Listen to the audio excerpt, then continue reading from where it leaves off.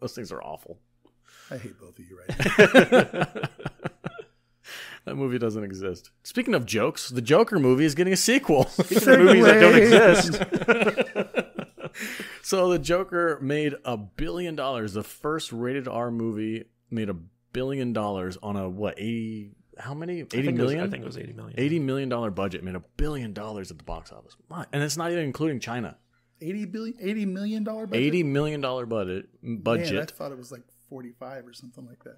Well, No. ma- we're probably counting uh, Marketing, marketing, and all Oh, that stuff. Whatever, it's all good. Still good. Yeah, billion I mean, dollars. that's crazy amount of money for a movie like this, like a, a like a basically Yeah, just taxi driver type So, movie. so first of all, uh, that's without the Chinese box office. Uh-huh. That's Yeah. without an expanded cinematic universe that, that it's set in. It's without Batman for the most Yeah. part.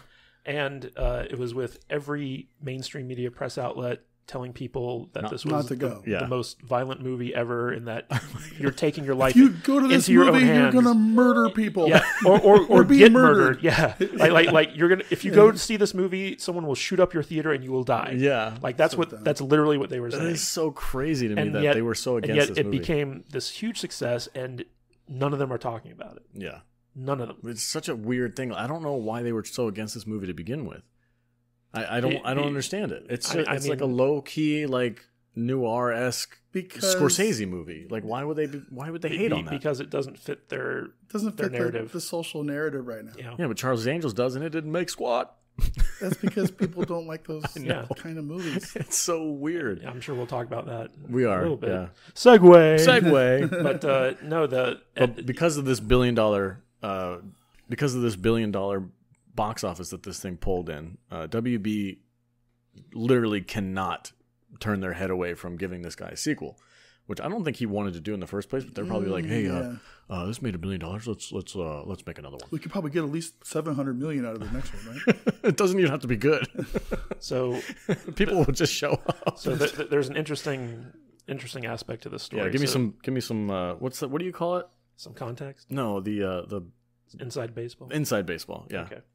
So this morning, the morning of this podcast, as we're recording, news breaks that on the in the Hollywood Reporter that Warner Brothers somehow got the bright idea to greenlight a sequel to the Joker movie, and they basically said that uh, Todd Phillips, the guy who co-wrote and directed the Joker, uh, wants to do a sequel with uh, Joaquin Phoenix, who has apparently agreed to do it. And in addition to that, Warner's is also giving him the rights to, I guess, one or two other uh, comic book characters to do a similar origin type story too. Now, w- when that news broke, you know, everyone on the internet went crazy. But then Deadline came out literally an hour after that story broke on the Hollywood Reporter and said, "This is bullcrap. It it's not happening. what Nobody greenlit this. yeah. Uh, Todd Phillips does not want to do a sequel. This is fake news. And so you have these two competing, very big industry papers, Hollywood Reporter and Deadline, uh, putting out conflicting uh, uh, information about whether or not Joker 2 is actually going to happen. Wow, I didn't even know about that. Yeah, all it- I saw it was just the happened. Hollywood. Yeah, all I heard was the Hollywood Reporter, and I like- haven't I haven't been on Twitter since. I remember when me and Matt, I went and watched the Joker with Matt.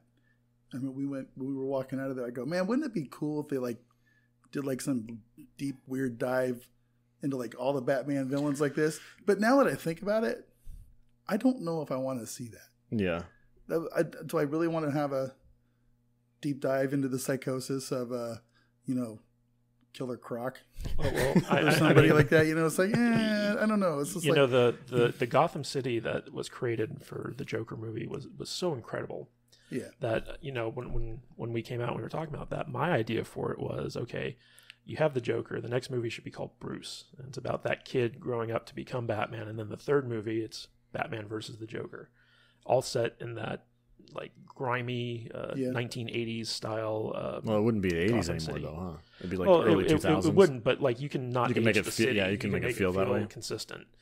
And and but that that that city, that Gotham City in in the Joker movie was just so Batman Year One from Frank Miller uh, that it was it was just it was fantastic. I I loved being in that world uh, while I was watching that movie. And if if they can do more kind of Batman stories set in that universe, I would be 100% on board for it. So I um, I would much rather see this Batman than um, Sparkly Batman. no, than you know the Justice League Batman versus Superman Batman. Ooh, hashtag release the Snyder Cut. Yeah. The Segue. Snyder, Snyder, the Snyder Batman. Batfleck. So, Bat- well, so I uh, when I was in Chicago, we were having that we were hosting that podcast at a comic book store, and after I was done, we packed up everything. I'm like, before I leave,